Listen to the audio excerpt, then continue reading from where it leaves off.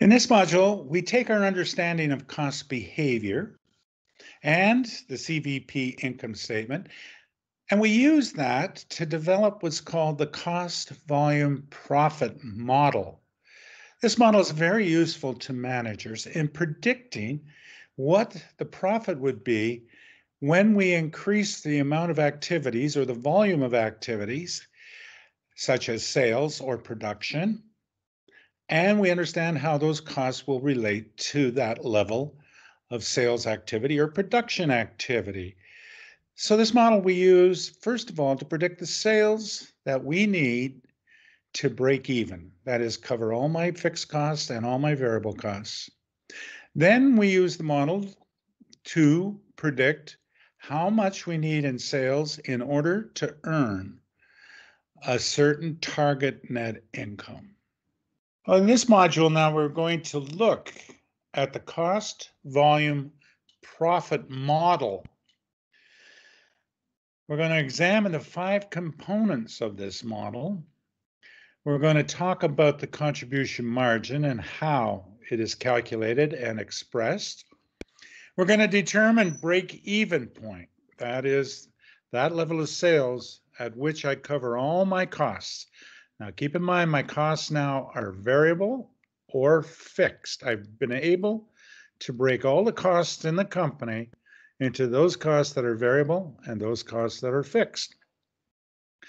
And we're going to then look later on at sales required to earn a target net income. So to begin with, again, this is a bit of a review. Cost volume profit analysis is the study of how cost changes as volume changes and the effect those changes have on a company's profits. So understanding this is so important to managers and their role in profit planning. Managers use this information to set the selling price. They'll change the selling price see what happens with the cost and look at the effect it has on profits. It also, for marketing people, has important information on what product mix we should be using, the product that contributes the highest contribution, and also the production people in maximizing production facilities. Now, there are five components First of all, the volume or level of activity. Now let's, most often we're going to be talking sales, but it could be production. Then we express unit selling price and unit variable costs are the next two components. The third one are the fixed costs that we have to cover. And then in the, in the next module, we're going to look at the effect of sales mix on this module. Now, again, this is a management accounting module. We're dealing with the futures, so it's not really exact. This is a, around that. We are making some assumptions here. both costs and revenues are linear. They don't change over the activity index. A second assumption is that we were able to classify all costs into fixed and variable. Now, keep in mind, many of those mixed costs, we had to make an assumption. All right. We're also assuming that any changes in the volume is the only factor that affects the costs. Okay. So those are some of the assumptions in the cost volume profit model. Now that we had all the costs in the company classified into those costs that are variable and those costs that are fixed, then we were able to rearrange our income statement. We didn't change the sales, we didn't change the net income. We just rearranged the expenses. Those expenses that were variable and changed in total in direct proportion with changes in the sales activity were classified and netted against sales activity to give us the contribution margin. And those costs that are fixed had to be covered by the contribution margin in order for the company to produce a net income. So now you know the contribution margin and the contribution margin income statement. So here are the uh, factors regarding the statement, selling price 500. Notice they always give you the unit selling price, the unit variable cost, total fixed. They don't give you the contribution margin, so you have to figure that out. So when you do the income statement, the CVP income statement is called cost volume profit. You have sales of 800 on 1600 camcorders. You have variable costs of 480. Now the 480, if there's a 10% increase in the sales, there'll be a 10% increase in the variable costs. So we net those two, they move together and we just focus on the contribution margin. There'd also be a 10% increase in the contribution margin. And the contribution margin is available to cover my fixed costs. And in this case, I have 320, which is 120 more than I need to cover my fixed costs. So my net income is 120. Now the contribution margin per unit is simply the unit selling price 500 minus the unit variable costs of 300. And that gives me a contribution margin per unit of 200. Now, if I look back at my CVP statement, I can express the CVP in terms of total sales or per unit, 500. The variable cost then is 300. Now, if I'm only selling a thousand camcorders, then my total sales would be 500,000. My variable cost would be 300,000 and my contribution margin would be 200, or in this case, per unit, 200. And how many units would I need to break even? Well, at a thousand units times $200 per unit gives me enough to cover my fixed costs, and therefore I have a zero profit the next unit I sell beyond the, the thousand, which is my break even in units, that 200 contribution per unit is no longer needed to cover my fixed costs. Therefore, it is profit. And that's how the contribution margin per unit is expressed. We also can express this in terms of a ratio. Now, a ratio always means a percentage of sales or selling price. So this is a contribution margin ratio. That means it's the contribution margin as a percentage of sales or selling price. So this time we're going to express it. We can express it either in total sales, total contribution. We get the same ratio as we would with contribution margin per unit divided by the unit selling price. In this case, it's 40%. So that means every uh, dollar we sell, 60% goes to cover the variable cost, 40% is left over for the contribution margin. So again, when I look at my CVP statement, and I can express this now in percentages. Sales is always 100%. If the variable cost is 40%, then, or variable, I'm sorry, if the contribution margin is 40%, then the variable cost is 60. So now if we want to look at a change and how that happens, okay, so what effect would a 200 unit increase in sales be? Now keep in mind my break even was a thousand units. So now I am going to do a thousand two hundred. So if my selling price is 500, then my total sales moves from 500 to 600. My per unit remains the same. The variable cost is 300 and that's 60% of sales. So now with the change, if I have sales of 600,000, my variable cost then would be 360,000. because the variable cost is 60% of sales. Another way of looking at it is that it increased by, well, 100,000, 20%. Now, the contribution margin is 240. But notice the percent of sales has always remained the same. The new fixed cost 240. So with an increase in sales of 100,000, my profit will increase 40,000. Notice Doctor? of the increase in sales. The sales increased 100, the contribution margin is 40% of 100, which is 40,000. And if I'm beyond break even, then that contribution margin is profit. So again, we're talking, let's go back and do the break even point. That is the level of activity where the total amount of sales revenue equal both fixed and variable costs together. And we do this with the contribution margin. And we express break even in two different ways units and in sales dollars. now, at break even point, the contribution margin must equal total fixed costs. All right.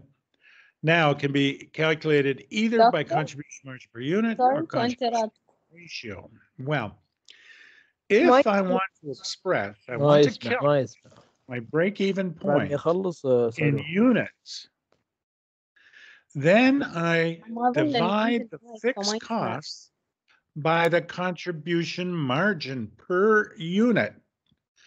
And my answer is in units. So the fixed costs are 200,000. Contribution margin per unit is 200. Therefore, my break even in units is a thousand units. If I wanted to express my break even in sales dollars, well, then I use the contribution margin ratio. I divide the fixed costs by the contribution margin ratio, and my answer is in dollars. So the break even, a thousand units or five hundred thousand dollars. Keep in mind, a thousand units times fifty dollars a unit is five hundred thousand. So I can express the same thing, but in two different ways. One in units and one in dollars. So if you are asked to calculate it in units, make sure you use the contribution margin per unit. If you are asked to calculate it in dollars, make sure you use the contribution margin ratio. All right, we're going to go through an example. Lombardi Company has a unit selling price of 400, variable costs of 240. Notice they will not tell you what the contribution margin is because that's a management way of looking at this data. Fixed cost of 180. Compute the break even. We're going to do it mathematically and then contribution. So the break even is going to be that level of sales minus variable costs minus fixed costs will equal zero net income. So the number of units I sell times $400 per unit minus the number of units I sell times 240 variable costs minus the fixed cost gives me zero profits. When I rearrange this 160 Q, well, that's sales minus variable costs. That's my contribution margin. Uh, minus that, then I figure the Q is 1,128. Now this should be an equal sign up here, 180. But that's mathematically, I'd like for you to do it using the contribution margin. It's very simple. Fixed cost divided by the contribution margin per unit, and you've got the break even in units. All right. So that's the break even. That's zero profit. And that's that's fine. A company needs to know the level of sales so that they can begin to make a profit beyond that level of sales. And so now we're going to look at what we call the target net income. A company wants to determine the level of sales necessary to achieve in order to earn a specific net income. It can be determined using the mathematical equation, but we're going to be using the contribution margin. Again, this can be expressed in terms of sales units or in sales dollars. Mathematically, the required sales is the minus variable cost minus fixed costs equals my target net income. So if I had the situation before where I had variable uh, selling price of 500, variable cost of 300, fixed cost of 200,000, well, then the required sales would be 500 times X minus 300 times X, our quantity, equals 200. I add the target net income to my fixed costs. So basically, the formula is there in red. Fixed cost plus target net income. And I want my answer in units. So I divide by the contribution margin per unit. And that's exactly what we do with the contribution margin technique. Fixed cost plus whatever I want for net income. I need enough contribution margin to cover my fixed and then give me 120,000. And I'm earning $200 in contribution margin on each unit I sell. Therefore, how many units do I need to sell? Well, the required sales in units is 1,600 units. If I want it in dollars, fixed cost plus target net income, that doesn't change, divided by contribution margin ratio, percentage. And my answer is 800,000 in required sales dollars. So determining any amount of net income is very simple. Once a company managers understand their total costs in fixed and variable terms, and they can determine what the contribution margin is. Sales minus those variable costs gives me the contribution margin.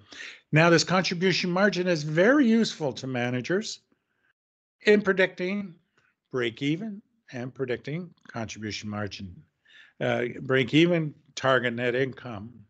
It's also very useful in setting selling prices and determining product mix and determining which product to produce. Okay. So the target net income is simply added to the fixed cost. That's all there is to that.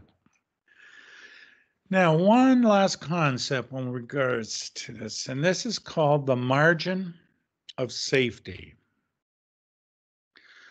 This is either the actual sales the company is doing right now minus the break even point, or the sales the company expects to do in the future minus what they know they need to break even. So a company is always aware of what their break even point is. Now we're looking beyond the break even point and we're comparing the actual sales or expected sales that we have in excess of what we need to break even. This is called a cushion. All right, because you see, the economy can change rather dramatically. We have seen this, have we not, with this pandemic? Sales can go down quite a bit in a company, and that would have a major impact on their profits. So you see, determining the size of this cushion for a company gives us an idea of how risky that company's profits are to changes in the level of business activity. For example, let's say I have two companies very similar. Let's assume they both have a break even point of a thousand units. Well, one company is selling 1,200 units currently, and the other company is selling 1,500 units. So which company is at greater risk? Well, the one selling 1,200 units because all sales have to change is by 200 units, and that company no longer is at break even. So if sales went down by that, the company that's selling 1500 um, has a higher or greater cushion and therefore can be considered to be less riskier than the other company. Now, this margin of safety is expressed in terms, I expressed it in units, but generally it's expressed in terms of dollars, but most often by a ratio. And remember, the ratio is percentage of sales, so margin of safety is that percentage of sales. So now, when we look at it in terms of actual sales of this company being 750 and the break-even sales being 500, then the margin of safety in dollars is 250,000. The company, that margin of safety is computed though in terms of percentage, and you simply take the margin of safety in dollars and divide that by sales, either actual sales or expected sales. And you have a margin of safety ratio of 33%. Of course, investors who have or look at companies look at the margin of safety. So sales would have to fall 33% before this company is no longer profitable. It is falling below the break even sales. You compare that to another company that has a margin of safety of 45%. And so that's how the margin of safety is most often expressed. In terms, of course, sales dollars, that is the actual sales in excess of what I need to break even, and then percentage, that actual amount of margin of safety as a percentage of actual sales. This concludes the lecture on cost volume profit. Now this module we have used assuming that the company only sells one product or provides one service. There are not many companies that do that. In the next module, we're going to take the cost volume profit model and adjust it for companies that sell more than one product. So we bring in the idea of sales mix.